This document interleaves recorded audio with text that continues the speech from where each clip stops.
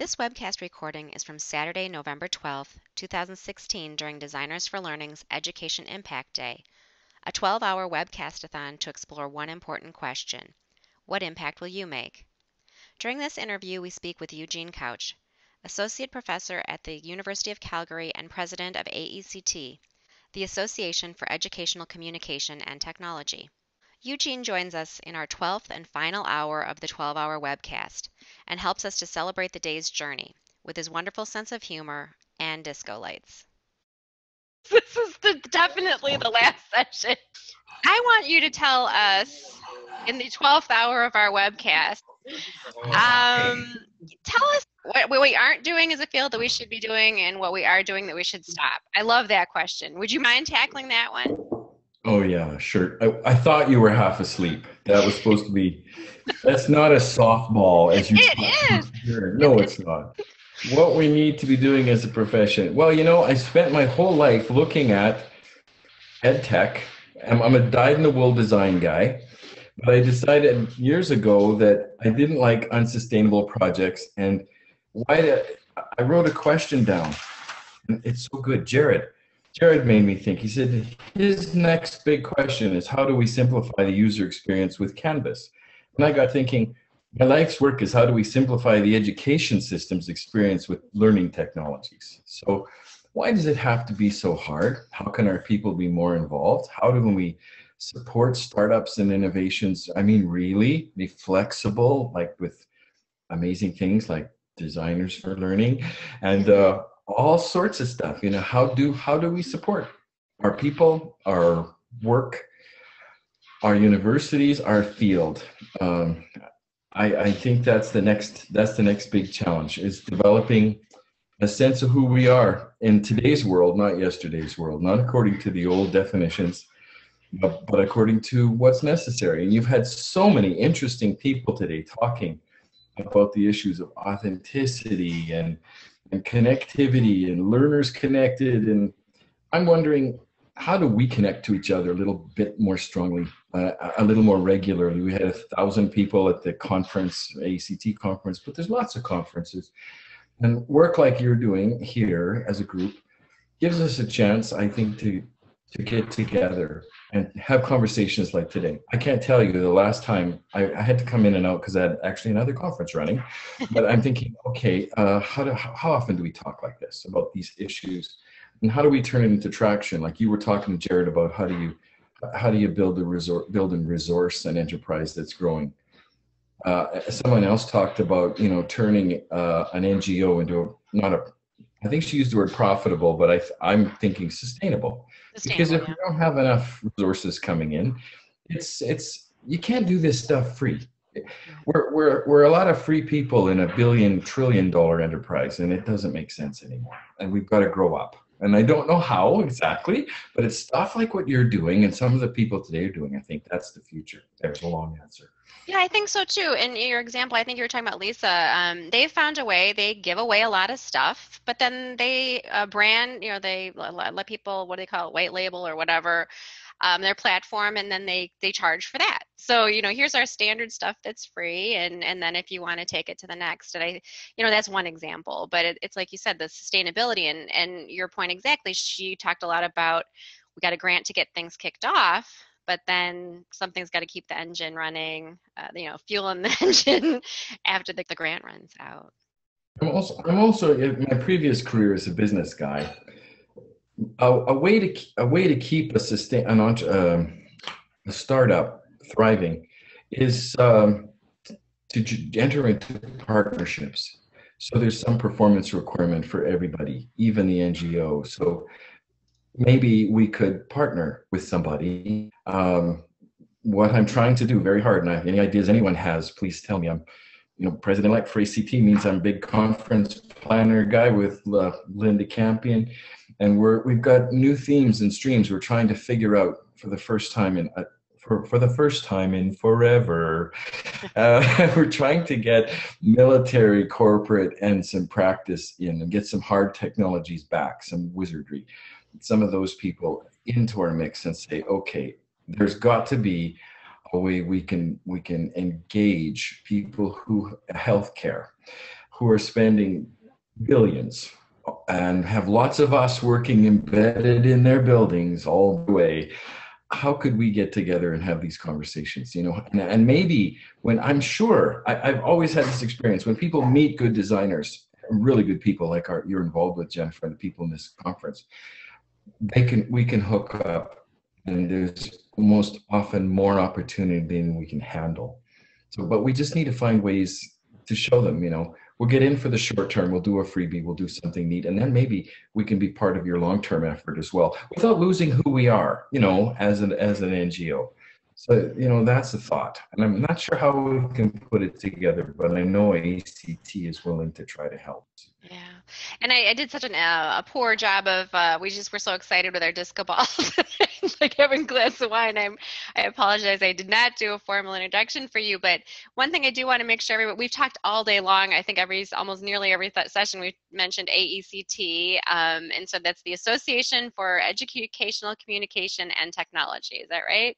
Yes, it is. I'm sorry, it is. It's the oldest premier society of educational technology in the world, and it's hard not to be as old. Yes.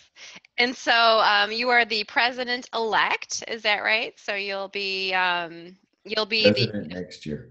President next year. So so for everyone that has heard us talk all day long about AECT, here's our fearless leader. Well one of them one of them yeah. And i'm i'm learning a lot. And we've got 13 countries that are affiliate members that have over 8000 members within these affiliates. And some of them are thriving. Like i just went and talked in bangkok and they have they have uh, i mean taiwan has 8000 members um, and many of them dealing with MOOCs. There's a million MOOCs launched last year in Japan alone. I met the guy who's part of that. It's wild what's going on in Southeast Asia. They're all looking for what we know already. And, uh, and they have the same interests and the same concerns in K-12 actually in the classroom. I mean, they're the same all over the world. So yeah, I think I think we could use AECT as a more effective clearinghouse for connecting people and organizations that need our, our work and our skill and on ramping our grad students in too i think. Yeah. the universities tend to own this stuff a little bit too much.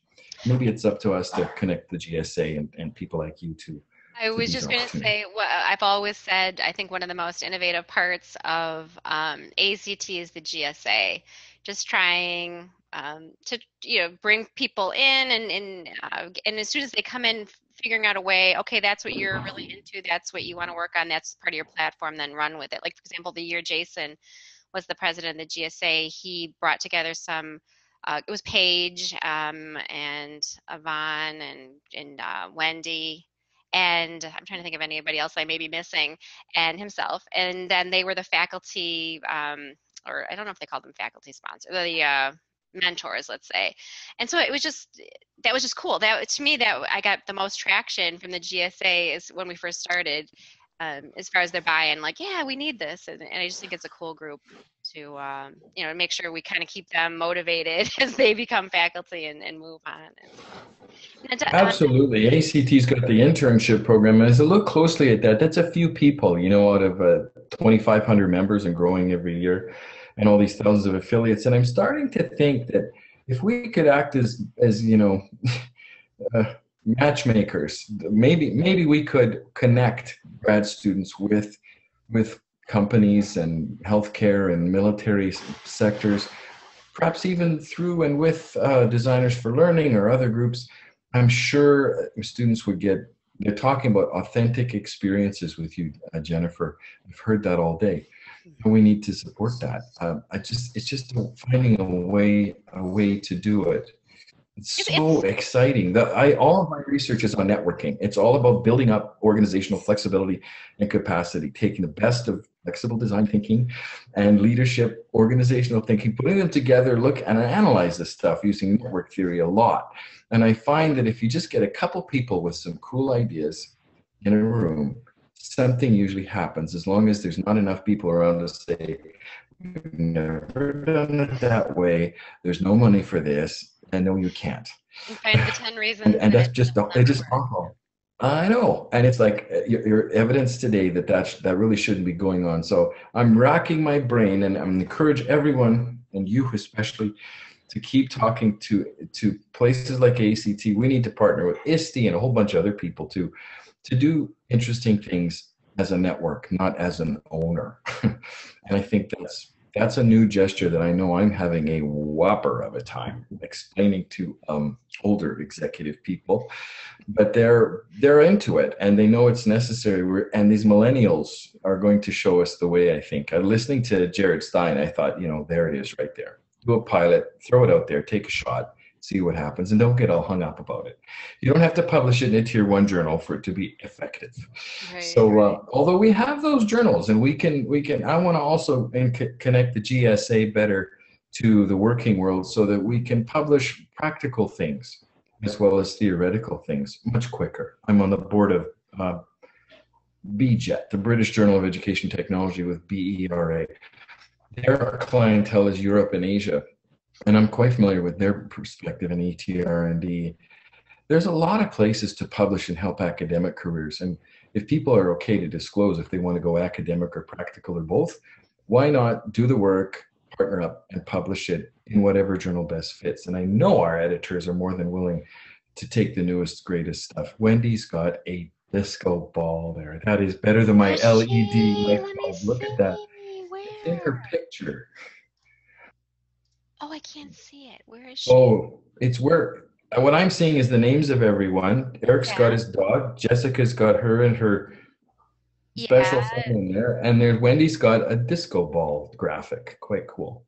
I can't see it. Oh, I'm, I'm all I see for Wendy is Wendy with her picture, just her profile. Oh, and look at that! Somehow Wendy's a oh, magician. Oh, he said he popped out. She sw- she popped out to switch out. Okay, so she must have. Oh, that's too funny. That's cool. Um, so yeah, I'm babbling, but uh, that's a wrong answer to your question. Well, we had a question, but I think it's now out of context. Diane asked a question: Are we talking about learning technology for students or instructors? And it was a while ago. Um, it was about 10 minutes ago, so I don't really recall where we were. Do you remember where? Maybe Diane, if you could give us some context. excuse me in the in the text chat because I'm not sure what that was. Um, I wasn't watching the text chat, and the amazing Jason Ingerman here, who is like got ever ready batteries is usually able to pull all this together on ramps pipelines to authentic careers. Yeah that would be good. Action. Oh yeah jason is actually working on one of these cool ideas. there he is one of these cool ideas to involve school districts and, and people of ex, with expertise to problem solve. And that's David Jonassen got me in a corner one week. I'll never forget that. And he said, This is the future. It's problem solving, it's this, it's that, and it's connecting people. I thought that's exactly what my research is. That's what Jason is attempting to set up. Allie's talk about um, uh, not. the, the um, uh, public uh, intellectualism and public uh, intellectualism it all fits together you know we just have to get out of our boxes we have to have deep disciplinary knowledge like we do but we've got to loosen it up a bit and Jason's got a model for that. Mm-hmm. So yeah, yeah. So um, Diane gave some context. Um, she was saying, referring to the ease of use of technology. I think that's when we were talking about that, and she was saying, "Oh, that's a great point. Are you talking about learning technology, ease of use for students or for the instructors? Probably. I put words in your mouth. Probably both, right?" Yeah, for them and and because the administrative world understands technology as information and enterprise analytic systems in the school districts and schools and in the governments of the world. I think we need to be a little closer to our IT partners who are creating the big buildings, the black boxes that hold the LMSs, that control the networks, that, that control the funding and the budgets. We need to be a little closer to the to the leadership who resource IT for everybody, including the business of education, and the learning side. I think I've seen a lot of real interesting work on that. So chief learning officers, chief information officers, chief technology officers now at Google, who can connect our fields, interdisciplinary work, I think. Yeah. Is, is really going to be, yeah. Um, you were talking about some of the themes from um, from earlier that would scare um, scare a lot of folks, and one that really comes to mind is um, is some of the the, talk, the conversation from Mimi. I don't know if you were able to watch um, any of that from Mimi Ito, but the idea that um, looping in, uh, I, I should call them the affinity-based net mentorships, where it's peer-to-peer mentorships. And so a lot of the things that we talked about today, pretty much I could go through almost everybody's talk and and all these out-of-the-box ideas. Um, it is hard when you think about taking it to scale. You know, people don't like to fail, and then certainly don't want to fail on a big stage.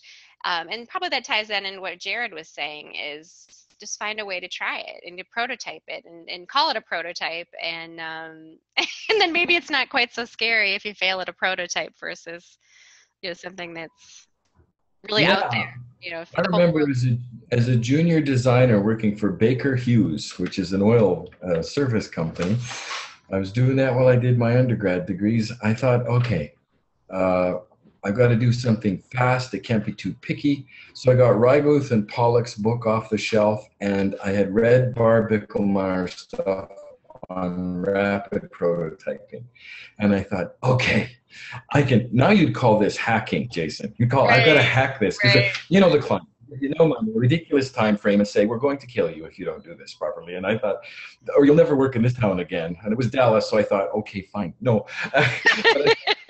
uh, sorry, Dallas, folks, but I, I love Dallas. But I thought, okay, uh, let's let let's do this. So I jam jam something together.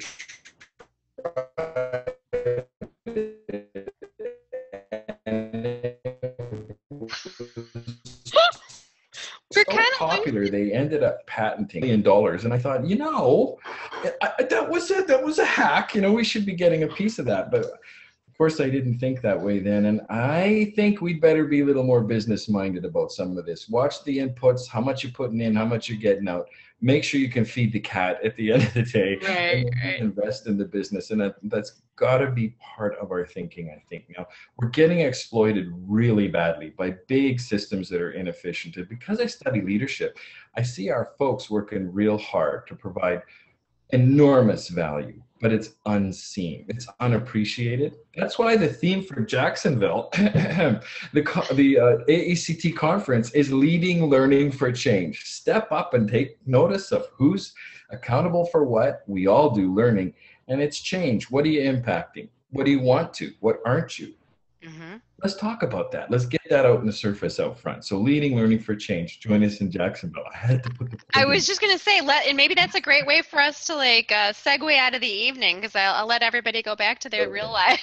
but but like, okay. tell us a little bit about um what what are the what are the plans for Jacksonville? Um, well, right now I've got a, a, couple keynotes lined up. I'm hoping to get a strong woman leader who's on the Dean's Commission for the entire United States uh, a very, a very, very powerful thinker in systems thinking and not systems theory that we've taken till we're going to die like rogers and company but systems thinking how you think about things as a systems person. And you'll think more about the guy beside you and the gal that's following you than you will about your own work by the end of his talk. So that'll be neat. We're hoping to get someone from the uh, nato command training for military uh, people who train people to take care of all of us in ways we never imagined. So I'm hoping for that. And a person in healthcare who's just going, who's the head of a, a private public healthcare partnership that employs over 1,200 designers all over the world. Um, and maybe somebody from Daimler Chrysler, who is corporate, who handles the driverless car training program because the biggest problem they've got in driverless cars is getting education systems to understand you're not going to learn driver you're not going to take driver training the way you used to. Mm-hmm. that's that's going to be a huge social problem. And they can't sell the cars until people are comfortable that they can learn to drive them right? Isn't this interesting? So maybe those are the kind of people we'll have talking to us a little that's bit. Awesome. And that's the 2007, right? So that will be October of 2017. Right? November 2017 in Jacksonville, Florida. November. Okay, so it's November. I thought they used to be in. This year was October because it was ahead a little bit, right? In. Um, yep. Okay, so November 2000. Uh, so then, uh, um, one thing we definitely then need to ma- mention as far as this is when people should start keeping an eye out for the um, proposal uh, deadlines. Those are usually December 6th. Yeah. Oh, okay. Coming So out December 6th.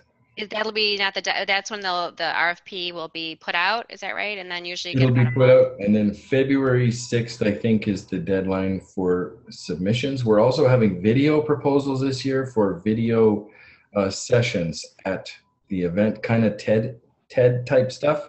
Okay. We approach TED, and the TED process is wow, it's it's complicated. Uh-huh. So we can't pull that off in under two years. So we're going to try that as well. Also, I'm I'm hoping that Designers for Learning will have a special place at the conference to talk to everybody about service service learning and uh, and action type stuff, Jason. So any ideas you have, you send them on in. There's going to be a new line of not just presidential sessions, but focus sessions that we're going to be shifting people to. I And, think uh, um, I'm with you that I think there's a, a service learning is definitely um, a topic that a lot of people's clearly. I mean, we the reason we Yeah. now have MOOCs is because we started to when we first started out, we would do a call for volunteers, thinking we'd get 12 people, and suddenly we were turning away, you know, 60 people. The year that the GSA did it, that was probably and Wendy's on the call right now, and and Jason. Um, probably the most painful part of doing that is we had to go through and tell people they couldn't participate. Um, and so that was the most um, probably eye-opening to all of us is that we had far more interest than we were able to handle under our own our old format. So um, yeah, um, two thumbs up for service learning as being you know something that we could Absolutely. bring bring to the conversation. Also, in your in your network of people like today, if you have uh, people who have ideas of how to engage people, not during the conference maybe, but all year, we're interested. We tried streaming things this year, and 26 people attended online. It's just not it's not a millennial thing, and we know we're not catching that. So if people have ideas, I have an idea for this event. I just learned this because I've been in the distance world in my own professional life since I started as a prof. What 13 years ago. And uh, one thing I've learned with time zones is you can think of it as a relay. Yeah, it's a global relay. You can have you can market in one time zone only and have a bunch of people and a host in that time zone, and then hand it off to another time zone and still keep and and then you don't feel like you guys feel right now. And we do this sometimes with conferences. It's touchy but it's a thought. Think of regional uh, time zone not national boundaries yeah. and and handing off the um, awesome moderator responsibilities to uh, to That is fantastic. Okay, so then basically you would say, okay, we're going to have an eight o'clock conference, but it's eight o'clock. It's it could be twelve sessions, all starting at eight o'clock in that time zone where it's originating. Is that kind of the idea? What you're saying? Like it, it basically is like one. Is that what you mean? you can well it depends how good you are you can line up the same talent to speak in different time zones they'll speak Okay. twice Uh huh. you know but they'll be they won't have to attend the whole day of course in Right. both rooms and they have the option but you you kind of yeah and you you label it like this is this is going to be from spain to dubai you know Okay, so rather than thinking about it in terms of times, it's more thinking of it in zones. Is that right? it's zones yeah think think in terms of zones and then you hand off zone to zone and it it can work i've been in a I couple love it. medical conferences yeah and it, it saves you this enormous problem of having to span the world uh, in real time I'm shocked how many um, people hung out. We had people from the UK, France, South Awesome. Africa, Australia, and I, that I blew me away. I, you know, jo- Jason and I kind of joked. We were calling it our, and I'm putting in quotes, air quotes, the uh, global conference, and it actually was. we really did. Yeah, we really did have uh, folks. Well, thank you for bringing us home. Here, cheers to Well, you. i tried to spick i tried to spork it up cheers to all you did. You got us. Oh. We got we got our disco balls going. well we had the children on the screen and i thought perhaps i'll bring milk i'm not sure or or Uh, Cocoa. Since I didn't get to drink with any of you at AECT. Oh, that's right, Eric. I love you. Here, cheers. So everybody who's listening, Eric is um, the person who designed a big chunk of module one in the MOOC. So if you're taking the MOOC, um, you can thank or blame, whichever your perspective is. and eric's not nearly busy enough in his own career eh? oh you look Yeah. at you guys okay Congrats, Exactly. That's what I say about everybody who volunteers with us. I'm like, you- as though you don't have enough, you know, with your family and, and work commitments. And well, that's why I cried. You weren't there, Eugene, but Eric got me crying at the. Yes, I did. I was embarrassed. Well, we we did. We received the um, outstanding um, practice award from for D and D, and so they had a session where we got to do like a 10 minute overview. And so I was like, well, this is a collaborative project. We'll do a collaborative acceptance. And so I just kind of kicked it off. And then I, I think I just had a very, it was a very innocuous prompt. It was just like, well, can you tell, um, like why you feel this is an important project or something like that. I can't remember what it was. So right away, John uh, Baki said something, and I'm like starting to get choked up. And then by the time we got to Eric, what did you say? I met friends and potential like research part or writing part collaborators. Here, do you want me to make you cry again? yeah, please go. I, I, I was trying to avoid it so I don't start crying again. Yeah, go ahead. No, I, I I'll, I'll tell you something something else. Um, and um, I, I don't know if you've gotten the news or not in Canada. Um, we had an election here, Eugene. Um, Oh, yeah. and um, without going to power tonight, watching it. Oh, so you heard. you have heard. You have Yeah. heard. I also learned from CNN about data visualization, how powerful that can be Um, from CNN. Without going too far into it, um, you know, some people are feeling like they want to um, have some way to contribute, um, volunteer, take action, um, and do something. And I'm so grateful that I have a way to volunteer and do something that I know how to do and do well, and be able to give that back to society. And Oh, I'm I gotta get my I'm really out again. glad. And, and I, before this, I didn't have an option to do that, right? Like I could be a teacher, but I was getting paid to do that, and that's fine. But this, this is something different, right? This is something unique. Um, so, are you crying again? Wow. Yeah, yeah, I am. Cheers. Yeah, thanks a lot. That is so true. And you'd never guess. Like, I wouldn't guess of all the group, you would be the one that would like tug at the heartstrings. I was like, oh, oh my gosh, where did this come? And now you, for for our whole day, you brought it home for it. Well, thank you so much, Eric, for, for your comments and your participation and summarizing summarizing the experience for all of us. I think it's just been You know, we talk, we talk, and we study endlessly. Engagement, engagement, engagement. Teamwork, teamwork, teamwork. Community, community. You know, my work is like I'm gonna scream if I see people use those words again, but because it's not real. I don't see it very often. I see it words, and and I think we're seeing that in our politics too. And what you're saying is the core of a very strong something, an entity. When people feel this way, that emotional connection. It, I feel the same way about some other things, almost about AECT most days, because I see potential. There are days I tell you, oh, but other days it's like, okay, same thing. So, you know, maybe we should capture this too. Why don't you, if you ever get a chance to write it up or present it, talk about the emotional and intellectual engagement that pushes you forward as a team. That's new. You're the only one in the world doing this. That oh no, we're not. No, we're not. I, I, I got a feeling you're the you're one of very few. You're one of few. So keep keep that in mind. Don't don't lose the moment, even though it's kind of hard to talk about. Maybe maybe drag it out at the conference or something. Well, we um, I remember in our first session, and I'll try not to, I'll try to get through without getting too choked up. But I think our first design meeting, Eric, you you would probably remember. I said, you know, we're all coming together as strangers, and I guarantee, based on what we were trying to build, you know, it's kind of audacious, really, to think we're going to take a a tw- what were we, Jason, the first, the third cohort, like 12, 12 students we invited, and we're like, okay, we're going to go on Canvas Network and take as many that will walk in the door. So you kind of know right away. Well, if we pull this off, will either hate each other or love each other at the end and go, you know, that was the worst experience or the best experience. So I think it, you know, you kind of do get in the trenches with each other and we all wanted to make it work. So it, it worked. So thank you again. And that's that's what keeps Canvas going. That's that's what's it, talk to Silicon Valley. You'll hear the same things from the people at the start. You will. Not after they get big rich, like really Yeah, rich. we aren't, we aren't big and rich yet. No, when you get rich, you'll start you'll start going, there. no, no. We're not there. We've got, we still got our, our you know, $2 or $20 disco lace. Well, thank you to everybody who joined us today. Jason, any final words for my my partner in crime, who I love very much? He's my he's my nephew though. Old enough to be his mother, so unfortunately, he's my nephew. you don't look, you don't look a day past 40 at all. 49? So I, I don't think 40, it's even 49.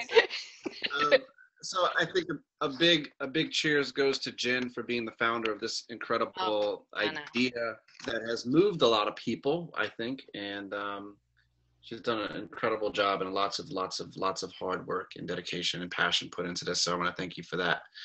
Um, and all these great people that have joined us today. We we just kind of had a simple idea to get people together in one space and have a meaningful conversation uh, so that we could push this agenda forward that's powerful you know um, as eric has already said so i'm going to kind of leave it there Yeah, it's hard to beat that. Hard to beat what he said, right? Yeah, Okay, well, first, I think the final thing I'm going to say is this is now an annual event. This was Education Impact 2000, 2016 edition, so we'll, we'll look forward to the 2017 uh, edition. And maybe we'll do the relay concept that Eugene mentioned. So, thanks, everybody. Have a great night. Thanks, everyone. You did fantastic. Oh, there's Wendy. I see. I really was here.